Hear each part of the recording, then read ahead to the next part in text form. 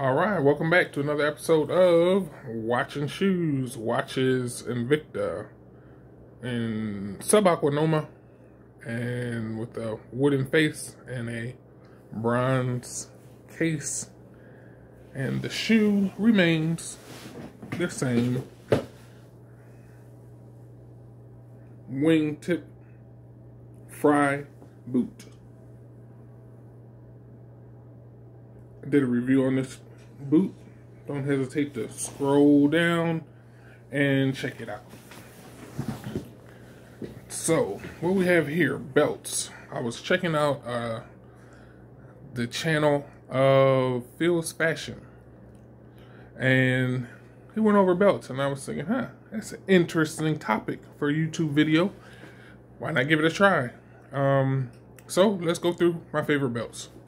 This one is relatively, I, I this is the second. This one is the newest one, and this one is, I don't know. Let's. This is just the newest one. This one here, but um, this is just a. See if you can tell if I zoom in real close. Can you even tell what that is? I know you will if I pull it this way. That's a little hint there little white speckles. Right about here, you're gonna start to reel. Oh, okay. Yeah, so this is a stingray belt. Indestructible material. So pretty cool. That's the whole of it. That's number one. Number two is this one.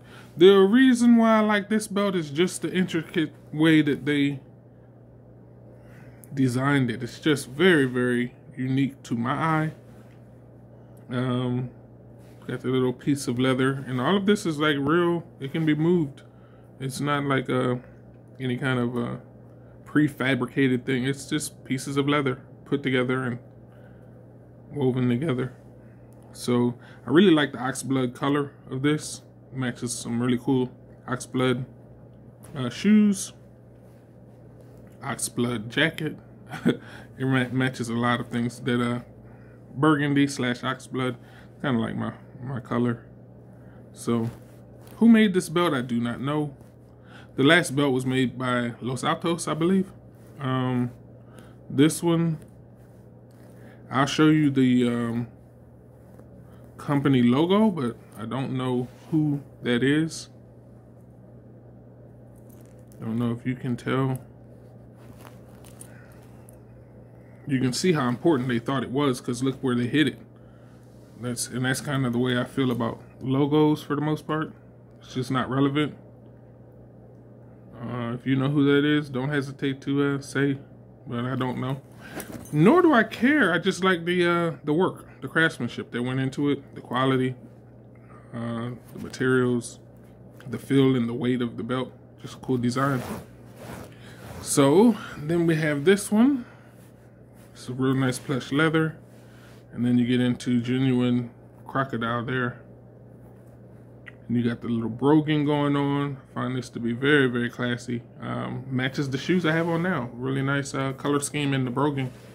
And then uh, I'm really about the uh, actual uh, skins that are used. And this one, if you think about it, if I think about it, uh, once again, it doesn't really scream out who made it. It's just, do you like what you see? And I do, and I bought it. Um, thought that was really, really classy. Use of uh, hide, skins, leathers, stitches, dyes. Just really, really classy. But as far as who made it. It's not hard to find on this one because it's uh, on the back, Mezlan. So great job Mezlan on that one. And then we have this one. Can you tell what this is?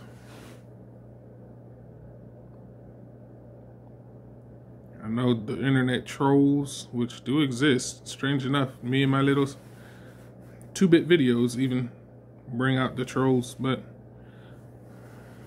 the trolls will probably tell you that this is not real either. But I'm gonna wait all the way till I'm done to see, all the way till I get to the end to see if you can figure out what this is.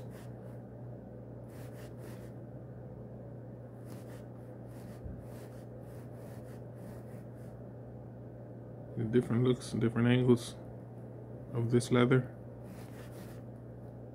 Some of you might have guessed it by now. Have you seen that before?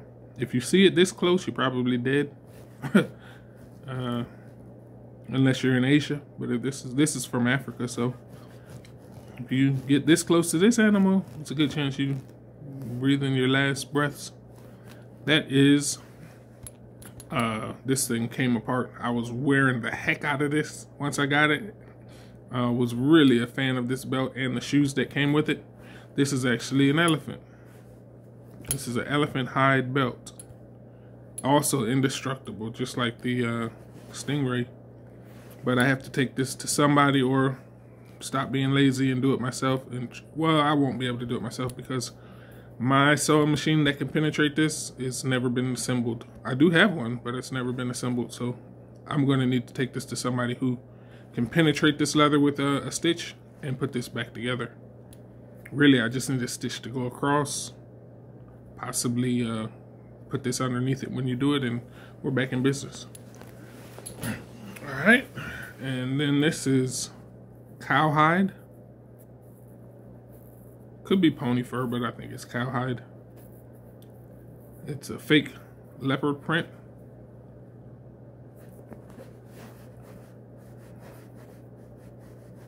This one became a favorite belt because it matches a shoe that I have. Um, the shoe is Bally and it has cowhide slash pony fur and a leopard print, which is pretty similar to this one. Even has the same like furriness to it.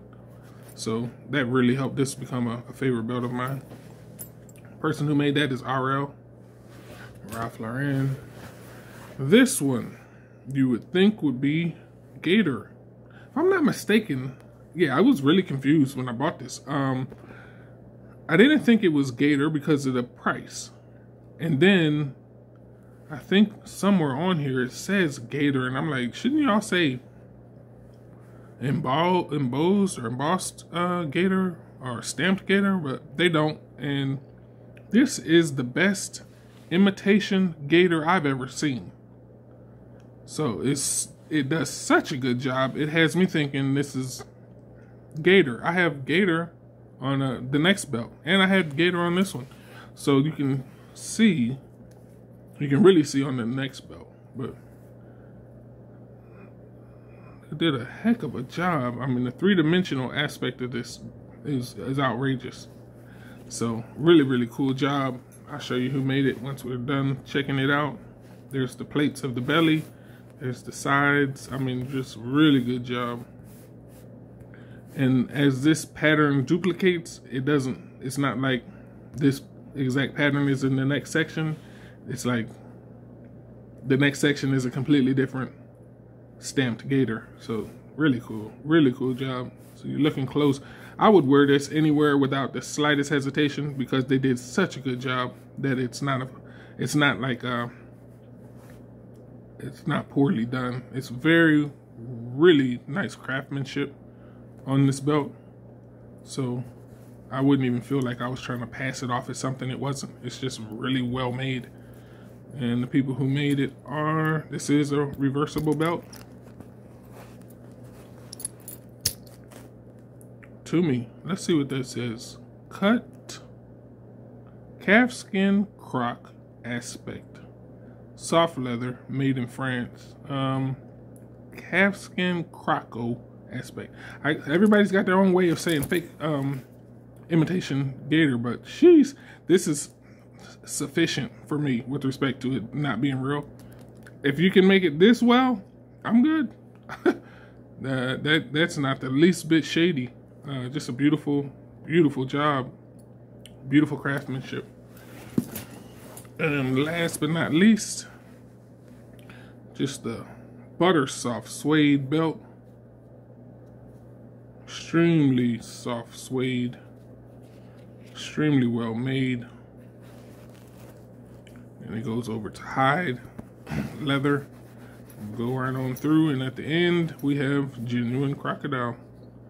Now imagine that because the fake crocodile, which I have here, oh, don't, don't go anywhere just yet. Check that out.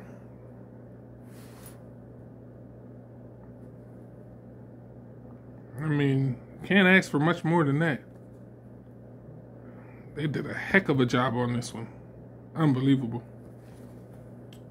Um, yeah, I really like this. Anybody who played football knows that this is a really good setup for uh, your belt and longevity. Those football belts don't seem to ever uh, fade away.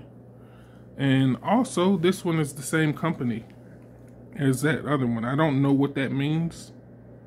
So if you do, please say so in the uh, comments. I don't know what that symbol is. I just know they made a really nice belt. So I just grabbed the belt. I'm pretty sure the company who made it, um, I don't know them, but they have great craftsmanship. So I didn't hesitate. All right, that's it. Thanks for hanging out with me on Watch N Shoes don't hesitate to hit the like button and subscribe.